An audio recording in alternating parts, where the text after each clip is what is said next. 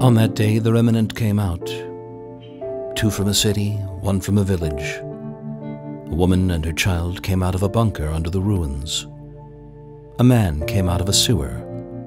Survivors came out of the forests of the partisans. The rescued came out of Auschwitz. In Europe, the sun was shining and the world was back on its course. They stood among heaps of ashes, a flaming stone in their hearts.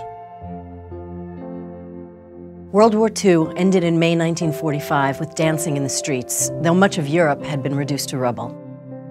While most of the world celebrated the end of six years of war, there was no happy ending for the Jews. For them, the moment of liberation came too late. Entire communities had been wiped out.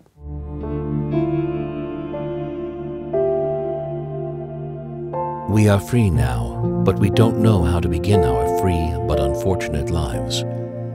We have forgotten how to laugh. We cannot cry anymore. We do not comprehend our freedom. Just as the period before the Holocaust must be taught, the period after the Holocaust must be taught as well in order to present the full human story.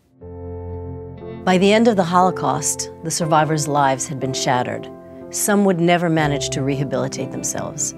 We will focus here on the majority, those who mustered all their strength and somehow managed to return to life. Many of them were alone in the world and started with nothing, yet somehow they made their way back from the edge of the abyss. Their fight and their resilience is an extraordinary story, since it is far from obvious that people who had been through the trauma of the Holocaust would have the strength to return to life. The International School for Holocaust Studies at Yad Vashem used a number of study units, both in print and online. They contain pictures, posters, testimonies by survivors, and background materials, some of which we will discuss here.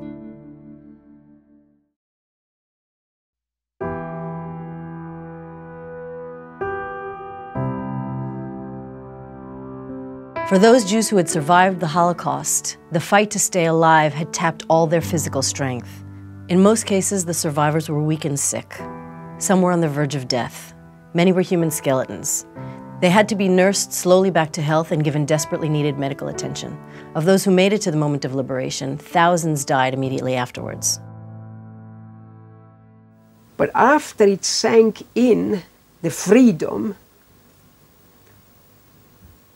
I realized that where I was hoping the whole time that I will see my father and maybe hope beyond hope my mother, or although I knew that this is not a realistic hope.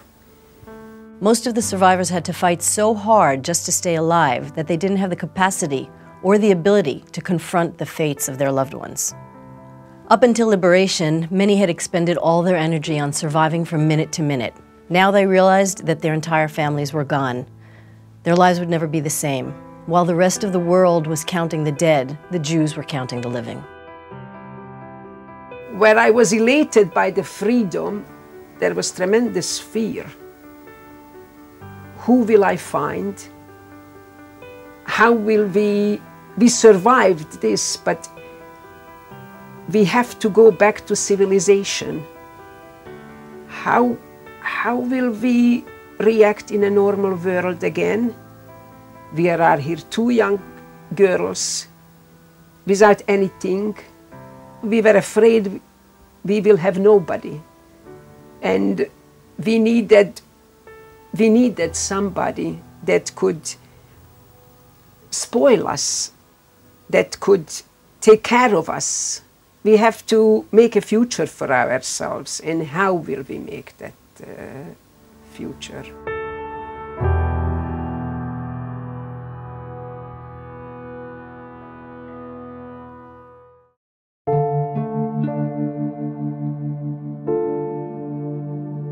The journey through chaotic post-war Europe was very difficult. The trains weren't running, infrastructure had been damaged, refugees were jamming the roads. Some refugees journeyed hundreds of miles for weeks and weeks just to get home. One question we can ask is, what is home? Is it just a location? Why would they want to go home? They searched for what remained of their families and their communities in the familiar places in which they had once lived. In Athens, I met a neighbor who had been with my brother at Jaworzno camp. Right away, I asked him about my brother, and he made circles in the air with his finger, meaning my brother had been taken to the crematorium in Auschwitz. I almost passed out. I didn't know what to do with myself. I had thought that he was the only one who could have remained alive. He was strong. His name was Avraham, and from that day, no one came back. They searched for what remained of their families and communities in those familiar places in which they had once lived. But when they got to those places, their families and their communities were gone. Home was no longer the image they had clung to during all the years of the war in order to survive. In some Eastern European countries, as many as 90% of the Jews had been murdered. According to one post-war survey, three quarters of the survivors were the only survivor of their entire families.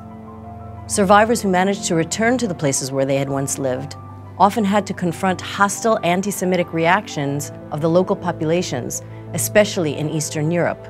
For instance, on July 4, 1946, in a place called Kielce, 42 Jews were murdered by their neighbors.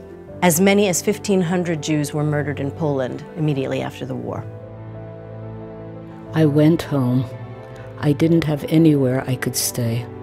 I had aunts and family. I went to see all their apartments. There were non Jews living in every one. They wouldn't let me in. In one place, one of them said, What did you come back for? They took you away to kill you. So why did you have to come back?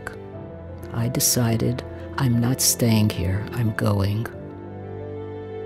Once again, many Jews lived in fear. They began to think would it be possible to resuscitate their Jewish communities in these places that they had lived for generations?